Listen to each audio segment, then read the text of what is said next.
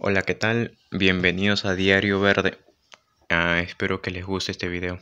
Bueno, hoy hablaré sobre la ruda, ya que en un comentario leí eso que no explicaba en un video. Bueno, esta ruda que ven acá es macho. Así le dicen, ¿no? Macho y hembra. A este es macho porque sus hojas son más grandes, crece hasta un metro y bueno, es fácil de cultivar. Y este es hembra le dicen hembra porque es más chiquito y crece más pequeño, llega hasta los 30 centímetros. Así por lo menos. En cambio el macho puede llegar hasta un metro. Pero si lo mantienen en maceta pequeña dura bastante. El suelo tiene que estar fértil, que drene bien y le guste el sol. Es lo más primordial.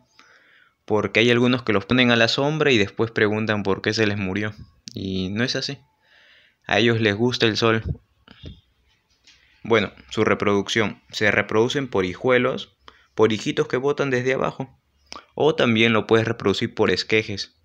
El esqueje tiene que medir 15 centímetros, lo recomendable. Y así, también puede reproducirse por semilla.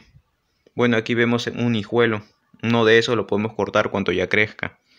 Bueno, se puede reproducir por semillas. Sus flores son amarillas, y bota bastante florcitas amarillas.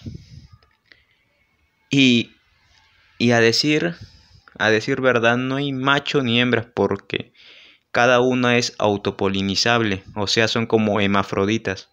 Y dicen que repelen a los gatos, pero no creo que hagan eso. En vez repelen solo insectos, pero a mi gata no, no le repele nada. Y bueno, son fáciles de cultivar, las puedes tener en maceta, las vas podando y puede durar. Tengo una que ya lleva dos años en una maceta pequeña y está bonita.